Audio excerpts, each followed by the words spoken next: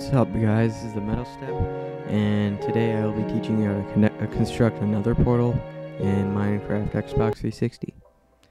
Now, uh, first you will need some lava, obviously, and you'll need a diamond pickaxe and a bucket of water.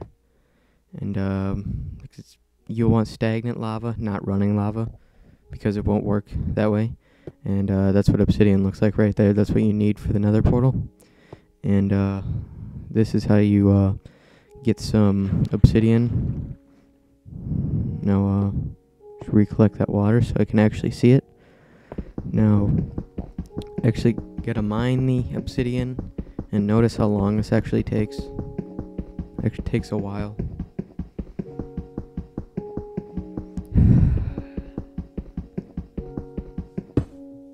So, that's how long it takes to get some obsidian. And you'll need uh, 10 blocks or 14. You don't really need uh, 14, but 10 will do. So once you get all your obsidian, um, like I said, again, you only need really 10 for the uh, four corners of the nether portal. You can just put uh, cobblestone or something, whatever you want, like that. And it needs to be five high, I believe, and four wide.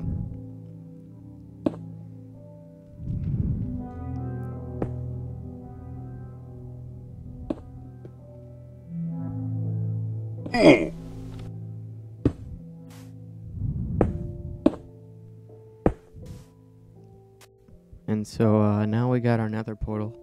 You need to ignite it with a flint and steel. Uh, it's actually pretty easy to make flint and steel. All you need is iron and flint, and they're both of them are pretty easy to obtain. You get uh, flint mostly from uh, gravel, and so uh, go into the crafting table and get uh, flint and steel, and you just light stuff on fire with it. And uh, pretty much that's what flint and steel is. You'll need it for the nether portal. So we're back at our nether portal, and we need to light the nether portal now with the flint and steel. And that's what it looks like. It's a complete nether portal. Now uh, let's take a step inside.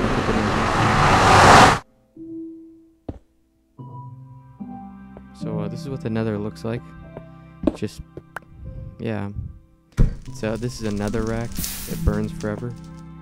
And uh, it's pretty much just all lava, netherrack, soul sand, and glowstone. And, uh, yep. So, uh, thank you for watching.